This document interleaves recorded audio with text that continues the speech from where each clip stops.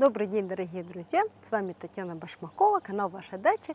И сегодня я вам расскажу о своем любимом зеленом луке. Хотя сейчас такое время, в июне месяце, во второй половине июня, его на зелень использовать нельзя, даже если бы я его не оставила на семена. Этот лук мы всегда называли лук-батун, так как у него он вырастает рано весной, дает очень сочные стрелки, прекрасный зеленый лук, ну прям и вкус у него замечательный, и урожайность хорошая, и он не вымерзает. Это многолетний лук, он не вымерзает. Но его другое название, более правильное, спасибо зрителям подсказали, лук многоярусный. Еще его называют, оказывается, лук шагающий.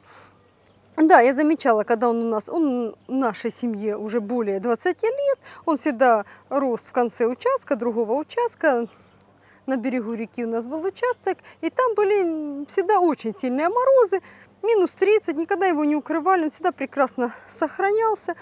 Ну, как бы я не замечала, что он шагает. Оказывается, почему он шагает? Он вместо семян дает луковички. И эти луковички, они падают. И если их не посадить специально, они прирастают самостоятельно. И весной вырастает, и уже нельзя, вырастает целый пучок лука, и нельзя отличить, это старый куст или новый куст. Собственно говоря, если он немножко присыпался землей, то нельзя отличить. Как он растет? Вот. Такой диковинный у него рост. Вначале он пускает вот ну, стрелочку пускает. Это я специально, чтобы показать и снять видео, оставила стрелы. Я, собственно говоря, таких толстых стрел никогда не оставляла. Это лук, который молодой, посажен в прошлом году из вот таких вот маленьких головочек. Я посадила лучок.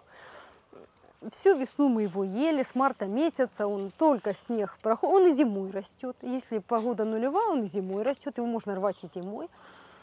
И вот я оставила на стрелочке. Раньше мы стрелочки просто обрывали, их кто случайно оставался, поэтому мы даже не видели, как он шагает. И вот из этого первого яруса вырастает второй ярус. На нем вот луковички. Из этого на этом ярусе просто из каждой луковичка пустит стрелочку, и на них будут опять стрелочки. Вот это растет просто из стебля, тоже будет стрелочки. И из каждой луковички стрелочка. И так он может давать несколько ярусов. Но это если надо очень много лука. И, честно говоря, вот таких больших луковиц у нас никогда не было. У нас всегда были луковички маленькие, потому что мы его никогда не поливали вообще.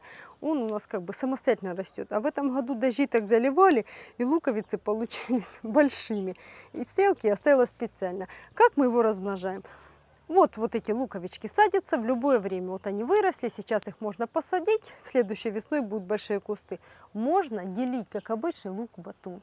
Можно делить куст. Вот это одну отсаживаем. Ну, не обязательно оставлять столько, не надо штука семян. Когда стрелочки не оставляли бы, тут бы были бы зелененькие. Отсаживаем, на следующий год опять получается куст.